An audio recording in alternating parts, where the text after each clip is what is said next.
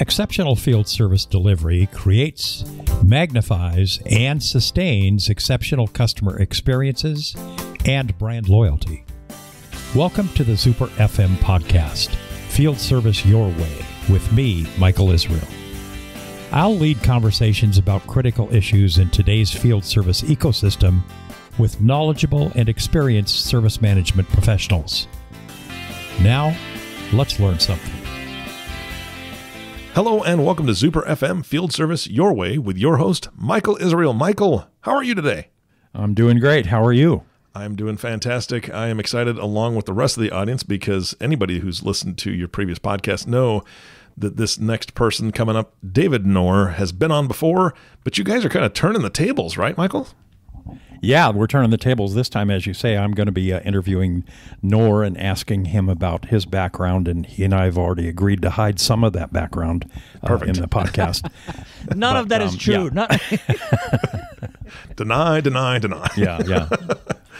All right, Michael. Thank you so much, David. Uh, uh, Mr. Nour, Should I, should I, say Mr. Nour? or we just are no, we? Please, formal? you do that. I'm gonna I'm gonna look around for my dad. No, just Nour is, Nour is fine. Nour, Thank you so much for coming back, Michael. Have a great time. Nour, it's great to be back with you. I know that you and I have worked together on a number of occasions, and I always enjoy it a great, great deal. So I, I know something about you, but uh, our audience probably doesn't. So I'm going to ask you a couple questions as an introduction. Would you please share with us your background? Uh, I think it's very, very interesting. And then also move on to and talk about what Nour Group is and what you do at the Nour Group. Mm, very kind. It's good to be back with you. And you're right. We, you and I have some history together, and it's always, always delightful. So for the audience, I'm the quintessential uh, American dream poster child. I uh, originally from Iran. I came to the U.S. in 1981 with a suitcase, a hundred bucks didn't know anybody and didn't speak a word of English. I literally landed JFK with a badge around my neck, put this kid on a Eastern airline flight to Atlanta uh, when Eastern was around, and uh, he doesn't speak, you know, a, a, word of English. So I came and lived with an aunt and uncle in the outskirts of Atlanta. I finished high school here, got my Eagle Scout here. Mom and dad stayed behind. Uh, mom recently passed away, but dad is still alive, and, and they're retired teachers in Persian literature and Persian history. Uh, I grew up here. Uh, I have 42 first cousins, 36 of which still live back in Iran. Uh, and uh, now that I'm a parent, I just can't imagine what an incredibly unselfish thing to do to kind of let your kid go and, and build a, a what you perceive and, and hope and pray to be a better life. So I grew up here, undergrad, started in engineering uh, a chance for computer science, took a business law class, and completely fell in love with complexity of business. Early part of my career was technology, so IBM, Silicon Graphics, Business Objects. Mid career, I went the consulting route, and then uh, Emory for the executive MBA program. Got recruited as president of a startup, went up to New York, raised a round of funding we merged and sold that business. Uh, spent several years at a private equity firm where we bought and sold 110 different companies. And uh, for your audience, I'm actually 95 years old. I look great for 95. Matter of for opinion, the last, right? for the last for the last 20 years, I've been running the Nour Group. Uh, we're a uh, boutique advisory firm, really passionate and focused on strategic relationships and the application of those relationships from everything from strategy to driving really profitable revenue growth.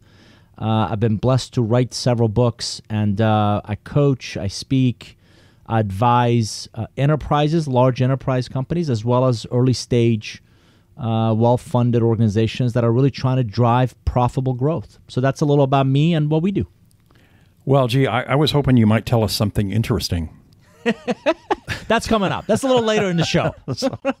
yeah, that's great. No, I'm I'm very very very well aware of your background and the work you, the work that you do, and I admire the work that you do very very much. I know you do excellent work for your clients. So you mentioned books. Uh, I must say that you are a prolific writer.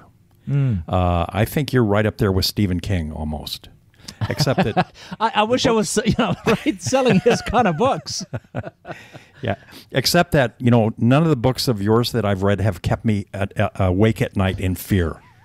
So you have the uh, you have a you have an advantage over him as far as that's concerned. Yeah, very kind so, of you to mention. Yeah, I, I tell most you know friends that, that they're they'll be delighted to hear I'm not writing Harry Potter. Right, I'm never yeah. gonna get never gonna get wealthy writing books. But if you look at uh, any any anybody who's been in any role for 20 years, particularly a consulting, advisory, executive coaching world, Michael, I, I'm I'm blessed to see a lot of different business models, work with a lot of different, and we'll talk more about this, mm-hmm. leaders and leadership styles. And when I see, uh, you know, several different clients struggling with very similar issues, the light bulb goes off that this isn't just a company or an industry or a geography issue. So I get really curious, and and that curiosity really drives my. It really is the spark for my journey into researching a topic. And at some point, you've read enough, you've talked enough, you've consulted enough, you've coached enough around a topic that you feel like you have something to say. So I'm blessed that I've written 11 books. I'm currently writing number 12 and they're all around this idea of strategic relationships, of really driving strategy, driving growth, and I, I use case studies. I interview a whole bunch of executives. I've got several grad students that do social science research for me. Mm. And and it, the fascinating part is I actually learn more about my own books after they come out because friends like you read them and you push back or you ask questions or I, I, I speak and it's it's uh, fascinating if not frightening. People quote you back to you right? You right. said on page 26 that this, what about this? And you're like, uh, I don't know. Let me look into that. Uh, but it's a, it's a great learning and growth opportunity. And it also becomes a $10 business card where it opens up doors for you to go and speak and coach and work, work with really interesting companies. Sure. That's great. So, can you take us on a little bit of a journey uh, with regard to your books? I know you're working on book number 12. So, you started on, uh, was the first one relationship economics? It was, and it's actually mm-hmm. the the best selling one. We've sold, I think, a couple mm-hmm. hundred thousand copies of that one, and Wiley published it. And book number twelve is actually a complete rewrite of that first one. So the premise of that one was everybody intellectually understands that relationships are important, and this is this will really come in handy in the field service, customer service, customer experience space. Everybody understands that relationships are intellectually, you know, important. Very few people are intentional, Michael, are strategic, and are mm-hmm. quantifiable about their relationship investments. So, in relationship economics, I, I talk a lot about how to turn everyday contacts, and that is as relevant inside the organization as it is external to it. How do you turn everyday contacts into really valuable relationships? How do you nurture them? How do you sustain them? How do you, in essence, bridge relationship creation to relationship capitalization. That is what I would call a Nour nugget. so I'm, I'm very I'm very fond of your nuggets. These little catchy phrases that are memorable and make a very very powerful point. So um, it, it seems to me, and this is probably a very obvious statement, that your your whole business of writing about relationships and relationship economics and co-create is another one of your other books and curve benders is another of your books. They're all about uh, relationships, as you said, both internally and externally. Can you talk specifically a little bit about how that philosophy and the actions that people need to take uh, appropriately are relevant to the customer service and the field service environment? Sure, it's a great question. And I want the audience to really think about the life cycle of a field service customer service professionals, right? And especially the, the leadership that leads them. So if you look at uh, key strategies such as how do I turn our service organization from a cost center to potentially a revenue and growth engine? Uh, how do I attract, retain, develop exceptional talent?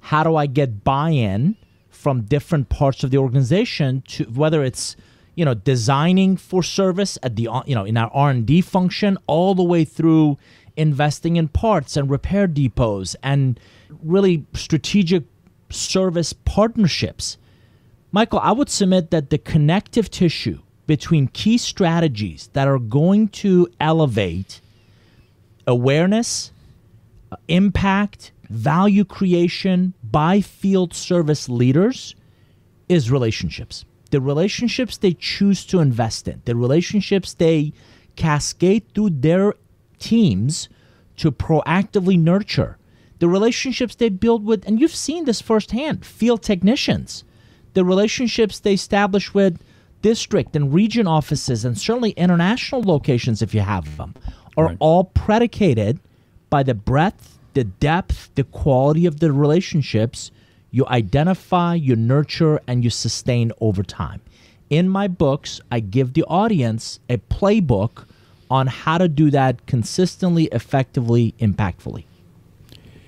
And can you extend that somewhat also to not just within the organization, as you just talked about, but also external to the organization? How do the relationships um, how important are the relationships with the customers and how do the relationship how does relationship development impact customer relations relations and customer longevity et cetera? Uh, unequivocally yes. So think about it. I, one of the things that i so admire about field service professionals is their best day is when nothing goes wrong right? Mm-hmm. But but that's seldom the case, right? The reason they call service, the reason that you know we need your help is something isn't working. The machine has failed, or it's the the the value that we were promised and we need out of your technology, out of your solution, isn't delivering.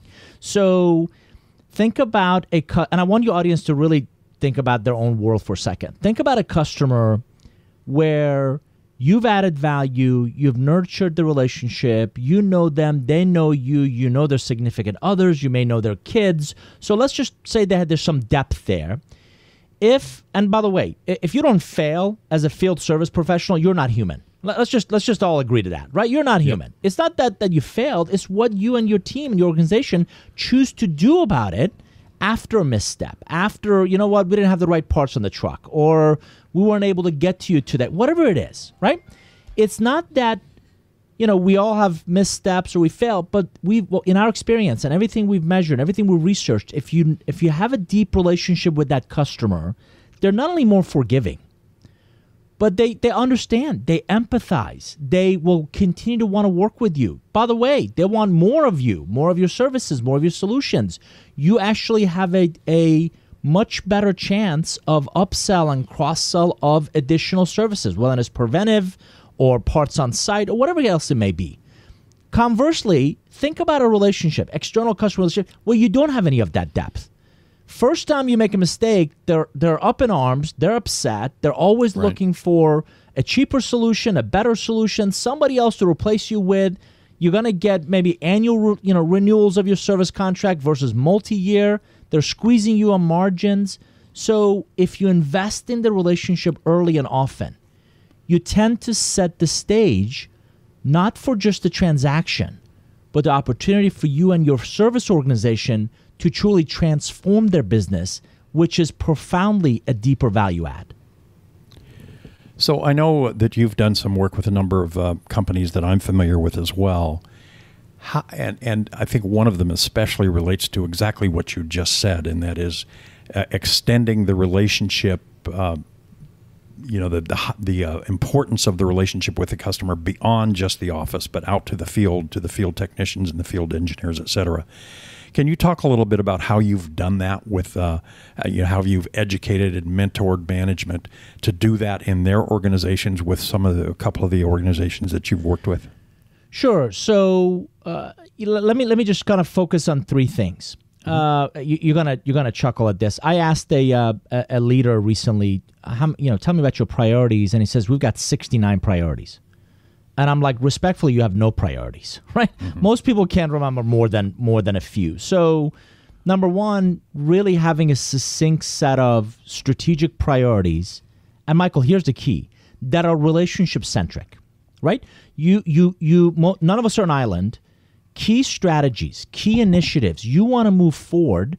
Identifying which relationships are critical to your success is a really good starting point. Number two, really prioritizing those investments. I, I, often say, you know, very few of us make investments blindly. So, how proactive are you in investing in that division, department, function inside the organization, but also that client, that partner, those collaborators? Michael, one of the fascinating things we're seeing in field service is organizations who may have previously seen each other as competitors are now co opetition They're mm-hmm. finding opportunities to work together on common, think of frameworks, common standards, common ways of being able to support or service each other's technologies or cross technologies. So if you prioritize your strategic focus, direction, what relationships you need to help you get there, which relationships can we cascade? The other thing I'm a big believer of, and I often tell leaders, is just like our kids, employees, team members around us are watching what we do, and that carries far greater weight than what we say we do. So don't tell me you're in the relationship business if you don't treat others like a relationship, like a genuine partner versus just a transaction. I don't want to be a vendor. I don't I don't let people treat me like a vendor. I want to be a peer.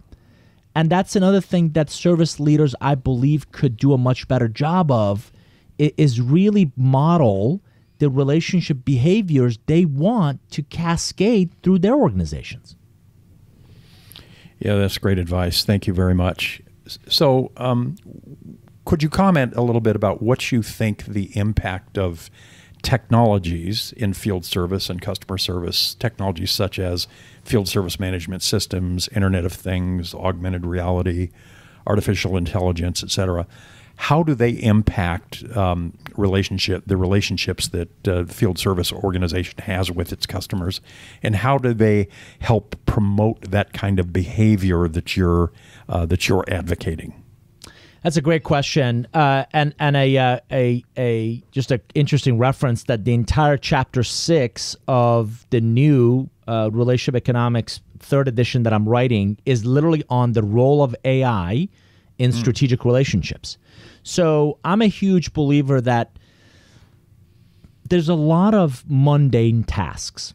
There's a lot of um, inefficiencies. Uh, Michael, there's a lot of uh, rudimentary work that field service organizations regrettably have to do.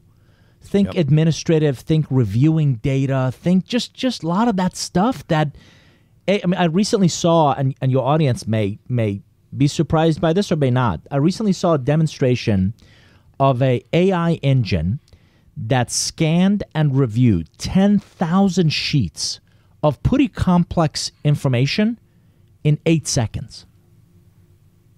So why not let technology do that heavy lifting? What it can't do, that technology can't look someone in the eye. They can't shake their hand. They can't, you know, really convey that feeling of warmth of the embrace. Right. By the way, we also can't do that virtually. So mm-hmm. so sociologists and anthropologists tell us that those are some of the aesthetic ways we as human beings gain a sense of belonging. We feel that we matter. that We earn and lend trust. We move relationships forward. So let the technology do the heavy lifting, gathering data, analyzing data, presenting that data, uh, anal- you know, comparing, contrasting normal versus abnormal data, uh, scanning networks and systems. I've seen some really interesting field service technology that that AI and ML will do in that arena. What it cannot do is the creative thinking. It cannot do that empathy, that human connection, the the the warmth that the customers feel when that service technician shows up. I've yet to find an AI system that can do that. The the the trust that an employee feels when a field service manager or leader takes them under their wings and teaches them how to be a servant leader, how to be an empathetic leader, how to lead by example. I've yet to find the AI or ML engine that will do that. Right? So Sure. it, we're very much living in a modern, hyper aware, always on digital and a highly predictive era. So, my counsel to field service leaders is you cannot bury your head in the sand and say, This isn't coming. It is here. It will impact your labor pool, it will impact a lot of your systems that you're using today. But I believe it will do it for the better because if it can anticipate, if it can predict, if it can help your, and a good example, uh, we're working with a client where they wanted their field technicians to have a really good idea of what they're walking into when they got on site. So they've built an engine that has got some AI capabilities that learns from every interaction and it's doing exactly that. Instead of the field technician showing up and saying, What's the problem today? They actually show up with a potential solution. Hey, here's mm-hmm. where I think the problem is. Here's what I think I can do to quickly fix it. And now we're becoming much more efficient because we're letting the technology do the heavy lifting. Mm-hmm. Well, I, I, want to stay on this path for just a minute. Uh, a lot of times when new technologies are deployed, there is some resistance in the organization. Well, you know, we we've been doing it this way for a long time, or I don't really like this new stuff, that kind of thing. Can you talk a little bit about how uh, you suggest to organizations that they implement good change management practices so that the new technologies will be adopted and used successfully?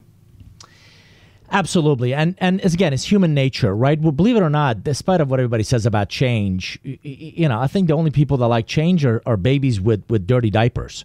Rest of us, rest of us are you know creatures of, of habit. I, I like predictability. I, I like the way I do what I do every day, right? So you introducing some new technology or a new process or new way of doing something is gonna disrupt that comfort level. So I tend to think of any technology deployment, any change or process uh, in implementation or introduction, Michael, almost as a theater act. So, and this would be really useful for field service leaders before, during, after. Before, how can I really plant the seed? How can I really uh, communicate? And here's the key not that which you want, but that which the consumer of that technology or process or change is going to be better off because of it. So everybody's favorite radio station is WIIFM. What's in it for me? So if you speak if you speak their language, if you really make it about them and how they're better off because of this early on, you're going to really set the right tone for that during. That's the deployment. The other thing I do in the in the in the early on the process, I'm looking for my champions. Who are those early adopters of technology? Who are those people that embrace new solutions? And this is not an age comment, but my mindset one. Who are the ones that are entrepreneurial? Who are the ones that are digital? Who comes to the table with a growth mindset that are willing to try that new wearable or that new AR, VR type technology, right? And I yeah. want to get those people on my side early on and for your audience, there's a phenomenal called 1990. And uh, uh, this, I think the story will resonate. If last time you threw a party, uh, you know, the people that are always kind of the life of the party, they always have the great stories and they always are, you know, they light up a room when they walk in. That's your 1%. 9% are going to interact with them. They might add their story to it. They'll, you know, be around them and they'll they'll kind of encourage that interaction. 90% are going to be passive observers, right? Mm-hmm. Doesn't mean they're not interested. They're just never going to put themselves out there. So I approach every change initiative, again, every technology or process implementation with that 1990 phenomenon in mind, and I'm looking for my 1%. And what I found out is to succeed, our research shows definitively if you identify the 1% and love on them, really help them and create the interaction with the 9%, now you start to get momentum. And at some point, the 90% are going to ask, That's interesting. How did you do that? And can you show me that? And what does that look like? Now you get peer adoption. Now you get peer reviews. Now you get peer support, not an authoritative, not a corporate, not a top down. If you make it easy for people to understand. Do not overcomplicate it. Keep it simple. You do not need to roll out 5,472 features. Let's focus on three. Three features that's going to make their lives easier, get some momentum, get some adoption, get them using it, then turn on other features. So, really set the stage before, really make it impactful, easy to adopt during. The after is all about reinforcing. The after mm-hmm. is all about recognition. The after is all about putting those that do embrace it on a pedestal and showing how they're better off, in fact, after adopting this new technology, new process, so their peers can see if Joe can do it, so can I. Yeah, I think that's great. I've done some uh, change management myself, and uh, what you've just referred to reminds me of champions, you know, identifying champions and then, uh, as you said, reinforcing once the uh, the work is is actually implemented and keeping it simple so that it doesn't become overly complicated. I want to move on just to, to, to, a general topic, if I may. You work with a lot of business leaders and some very, very significant companies as well. given the circumstances in the world today and the financial situation that's going on today and the, the, the, the, potential financial situation going forward, what is what's keeping business leaders up at night? What are you, what are they telling you that they are concerned about the most, and what are they planning or hoping to be able to do about it? That's a great question. I, I actually was on a call with an executive earlier today, and their number one challenge and, and opportunity, if you will, is really around this talent. And Michael, that you know, just both yeah. finding talent, but also wage inflation, right? So, you know, not only they can't find them, but you've got you know attrition on one side. You've got you know I'm paying two to three x what I would pay for the same role a year ago. Hmm. So that is not sustainable. Combine that with inflationary pressures, and most believe they're going to look for they're going to look for other solutions. They're going to look for automation. They're going to look for uh, you know cloud technologies. They're going to look for some of these AI ML type solutions. And let's make no mistake about it. I, I, I'm a realist. It is going to replace some of the jobs, some of the field service jobs that are out there, predominantly because I can make it a heck of a lot more efficient and effective with some of the tools and technologies that are out there. So what we have to do is really think about, and, and they're trying, how do we reskill? How do we upskill? How do we take the the positive attitude, the the the the, uh, the value that that tenure has brought, not just in the new talent we recruit, but the talent we have today in really elevating their value add, really aligning that talent with value creation uh, and and we believe and, and and I tend to agree with a lot of the conversation I'm having. I think technology will help do some of that. I think uh, minimizing the labor intensity, how long it takes us to do something, how you know how many people are involved. Uh, one of my favorite questions when I when I either talk to executives or when I go inside a company is, tell me what takes you entirely too long to accomplish. Tell me what frustrates the heck out of you. And those are really low hanging fruit often mm-hmm. for change management, for process improvement, for really implementation of technology that is going to help them alleviate some of this. And I don't think that labor, uh, the talent challenges are going to go away anytime soon. Uh, but the yeah, wage inflation, wage inflation is really a top of mind. Yeah, that's very interesting. And um, you know, one of the things you said is right in line with what we believe here at Zuper, and that is that uh, we need to elevate the perception and the reality of the. Uh, uh, the recognition of the reality of the importance that field service technicians and field service engineers play in the entire role of a company and the company's relationship with customers. So, uh, you know, we've written about that, we talk about that, and I'm sure that we will continue to do so. And I imagine we'll engage you in some of those conversations going forward as well. Yeah, yeah, I couldn't be a bigger proponent of what you just mentioned because, again, I, I am honestly not convinced most leaders know what serve really what service organizations do.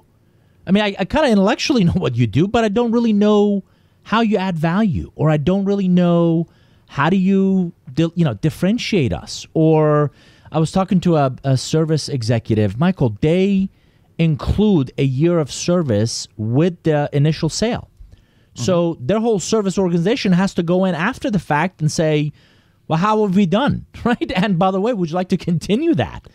And and it's a it's some ways an uphill battle because the rest of the organization is really not incentivized to promote them to make sure they're front and center. And, and you're seeing these challenges again, designing for serviceability, optimizing the labor market, spare parts supply chain, sustaining engineering. These are all different parts of the service ecosystem that I would submit are not really well understood by rest of the organization and in particular how they can be value creators and differentiators for the company.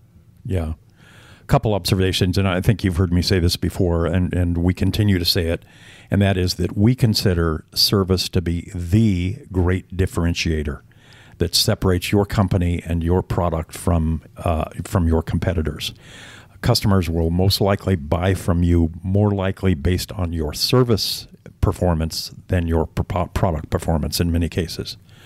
So I think we're uh, uh, we're we're right in line Unequivocally, yes. And think about it a second. Sales, and, and I and I cut my teeth on sales. I spent a lot of time in sales, sales management, sales leadership. Sales is in essence promising value. From awareness to engagement to evaluation, all the way through purchase, the clients who buy that product or that solution are being promised a value. And we could do a POC, we could do a POV, right, to prove all that. And but once they buy, Michael, you've heard me say this. I genuinely believe when a customer buys, that's when the relationship really starts. Mm-hmm. And the organization that has the biggest impact on not just the value that's promised, but the value that's delivered and the impact that that customer feels from that delivered value is the service organization. It is under recognized, it is undervalued, and it is often under invested in in really elevating the differentiating factor of the organization. Yeah, I mean we're hundred percent in sync, and something you said earlier uh, also struck me because you know I've worked in field service all my life, and uh, oftentimes people will ask me what I do, and I'll tell them I work with field service software, and they'll say, "Well, what is field service?" So it's it's very interesting because uh, field service really surrounds you everywhere in your business and in your home and literally everywhere. So see, I would have fun with that. We change your tires, we change your battery, we yeah, give you yeah, rides. No, no. yeah. But anyway, okay, let, let, move on. This has been a great discussion so far, and, and once again, I really admire your your experience and your comments and your ability to mentor and educate and make really valuable suggestions to people. And I think the people that listen to this podcast will be very impressed and pleased with what you've had to say. So, just to, before we close out, I know there's some things that you do on a personal level. I know you just finished one of them. I think it was maybe the second one that you did that's kind of a charity event and I think that's very, very interesting. Would you mind mentioning that for a minute? Oh, you're you're very kind. Uh, yeah. So uh, when I'm not working, uh, I've become when passionate. right, it's twenty. It's, it's the twenty seventh. Your wife told me to ask you that. When is that? Right. It's twenty seventh and 29th hour of every day. Um, yeah. So so uh, oddly enough, my wife and kids bought me a little scooter for Father's Day twelve years ago, and uh, I've become com- before that I'd never been on a bike, didn't know anything about bikes, and I've become completely passionate about all things two wheels, motorcycles, and uh, so I have several bikes. Uh, my son now rides, my daughter rides. Uh, we I usually ride about thirty five to fifty thousand miles a year. I've ridden the entire Good Route sixty six. I flew to uh, Tuscany pre pandemic and rode ten days in Tuscany. Uh, so I recently, uh, this is my actually sixth year, and you, you and Rob, Rob also contributed. So thank you, Zuper. Uh, my son and I participate in an annual event called the Distinguished Gentleman's Ride, and it's once a year. We can look very Kentucky Derby-ish. So you dress up, mm-hmm. and you actually ride retro, kind of uh, older looking or older bikes. And it's actually raising awareness and funds for men's prostate and mental health. It uh, contributes to the Movember Foundation. It's a global initiative. If the audience is interested, you can go to the gentlemansride.com. It's a website where they do a great job in creating awareness. And yes, some, I want to say 180 cities around the world, a couple hundred thousand people ride in this thing globally. And it's just such an incredible cause. And I'm grateful to, like I said, you and, and Rob both giving to it this year.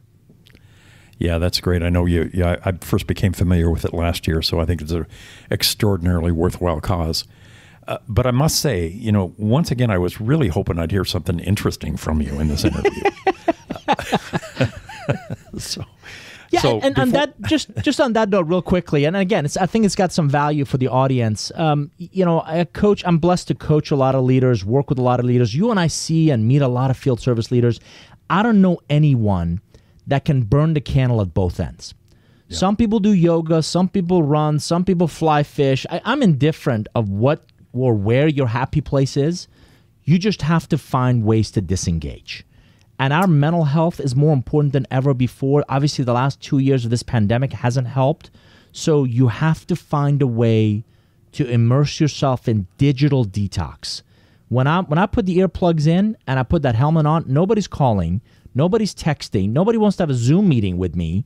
And it's my chance to disengage. By the way, I do some amazing thinking on a bike of, you know, I'm riding through Route 66 and I'm thinking how many businesses see the highway coming and yet they don't do anything about their business. And you can't do that sitting in a home office on a computer all day. Right. So, whatever your happy place is, you've got to find ways to disengage, go there, you come back refreshed, you come back ready to tackle the world. Words of wisdom for sure. So, uh, before we close out, I just want to ask you one l- last question, if I may. What quality do you advi- admire and value most in the people that you have relationships with? I would say authenticity. Michael, I think uh, most of us have a BS radar, right? and when somebody's not authentic, if somebody's not real, I think we all see right through that. And if you think about the last two years of this global pandemic, we actually haven't spent more time with more people. We spend more time with fewer people. And if you look at the people we've spent time with in the last two years, they're the ones that are a lot like us and they have very similar values and they value relationships. And what you see is what you get, and, and you want to be around them. The superficial, and this is one of my love hate relationships with social media, right? All those right. contacts, all those connections mean nothing if you don't know the person, if you don't know what makes them tick, if you don't know, if you're not calling them, for our audience, um, there's this antiquated device called a telephone where you actually pick it up and hit these numbers, and the other side picks up, and you have this thing called a conversation, and you ask great questions about how they're doing and how's their family and what's been going on with them. And so that authenticity uh, is really attractive to me. And I, and I want to, as a matter of fact, I, have written in my books, I'm, I'm actually trying to practice this of investing, continue to invest time with fewer people, but build deeper, richer, more meaningful relationships. Excellent. Yeah, I'm 100% in agreement with you. Smartphones uh, and technology have kind of uh, diminished the art of conversation these days. It's unfortunate. And it's so, it's so badly missing, especially with the next generation, right? So yes, so yes, I'm yes, teaching my kids and, and the 20 some year olds that are coming into the workforce, right? Can they shake your hand and look you in the eye and engage you like a like a, a, a professional, an adult, and do, are you teaching them how to build relationships? Because that's a skill that will serve them a lifetime. Absolutely. Nour, once again, it's just always a pleasure interacting with you. I really enjoy talking to you. You come up with some great points, and uh, every now and then I write down one of your wonderful Nour nuggets. So thank you again. And Eric, with that, I will turn it back to you to close us off. Well, I'll tell you what, I, I did write down that one of the last Nour nuggets that were was delivered.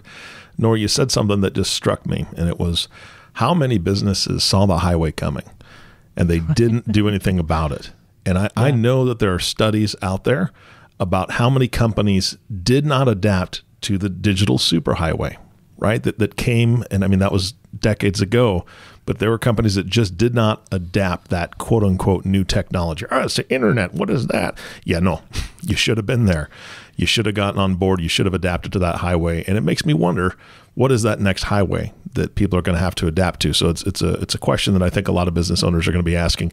Uh, Michael, I want to ask you this: you, you're you're here and you really represent what Zuper does uh, in, in an amazing way. Uh, if people are interested in talking about Zuper FM and they want to know more about what you guys do, um, how do they reach out to you? Well, first of all, they should, certainly should go to the website. It's zuper.co, and um, there will be all uh, you know methods uh, or ways shown on the website to contact us. They can also reach out to me directly. Uh, I'm available on LinkedIn, um, so feel free to send a message to me if you want to, uh, and uh, we definitely would get back to you as quickly as possible. Absolutely. I know that's true because you, sir, have not lost the art of conversation. So thank you so much for what you did today, Nour. Thank you so much for being here as a guest. And of course, our last thank you is always for you, listening audience. Thank you so much for tuning in and listening to Zuper FM Field Service Your Way with Michael Israel. If you have not subscribed to the podcast yet, please click the subscribe now button below. This way, when Michael comes out with a new podcast, it'll show up directly on your listening device. This makes it much easier to share these podcasts with your colleagues. Again, thanks for listening today. For everyone at Zuper FM, this is Eric Johnson reminding you to live your best day every day. And we'll see you next time. Thank you for listening to Zuper FM field service your way. Insightful discussions and advice that help you position your field service operations as a powerful force in building enduring customer loyalty. And remember this when you deliver excellent service to your customers, you're also facilitating their ability to provide superior service to their customers, which strengthens brand loyalty among their customer base as well. Thanks again. Please join us next time.